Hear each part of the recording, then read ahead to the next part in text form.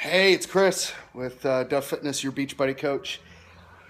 If you haven't been following me um, for a long time, you wouldn't know that I battle an autoimmune disease that's actually fusing my vertebrae, my hips, my ribs. I get inflammations in fingers, my knees, my ankles, my neck, everywhere. And You've known, if you've been following me, that I've been having a lot of flare ups lately. But during my power hour on personal growth today, this morning, um, the subject was opportunity. And it really made me think of, of opportunity even in failure. And I consider my spondylitis, my autoimmune disease as a big failure in my life because it has stopped me from doing so many things that I wanted to do. Or even say, because I'm constantly mentally thinking of the pain that I'm feeling in my back, my hips, sometimes headaches, sometimes just my fingers.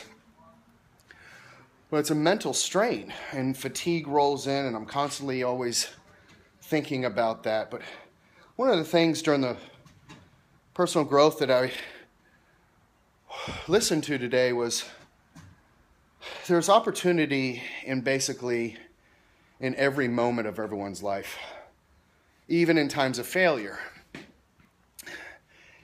you know, we can think of failure, you know, when we fail, we can think of, okay, I'm going to focus on the failure, or instead focus on the opportunity to learn something from that failure and the positive of what you can take out of that to help improve yourself. So it's one of the things that I really did, and I've kind of lost track on over the past six months because of my spondylitis, I'm thinking of it as a failure. I'm focusing focusing on the pain too much, focusing on, oh, I can't do this, I can't do that, I can't do this.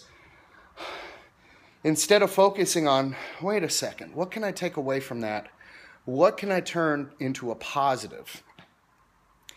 Well, got me thinking.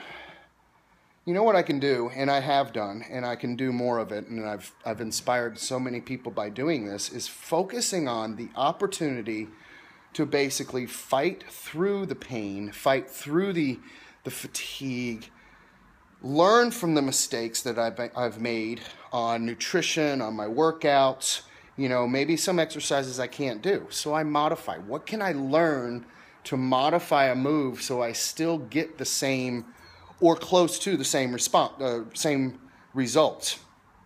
And that's what I focused on when I did P90 and P90X2 in the very beginning for the first six months of this journey I'm on to live healthier, I modified, modified moves.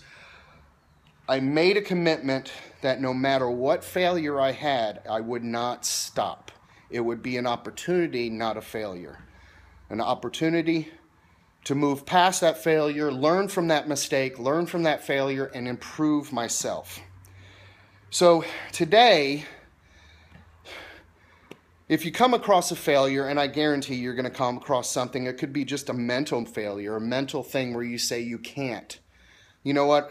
If you say you can't, I got to tell you one thing. I don't believe you. You're lying to yourself. Think of it as an opportunity that you can. And take that failure and turn it into an opportunity. So, my words of wisdom for the day. I'll see you guys again soon. Um, tomorrow I have, let me see what's on the schedule tomorrow of the September Bodathon that Carl Deichler put together. I got 21 day fix yoga. So actually, uh, I got a customer that uh, doesn't like yoga, so she better do it, and you know who I'm talking about. Um, have a great day, everyone. I'll talk to you soon. Bye.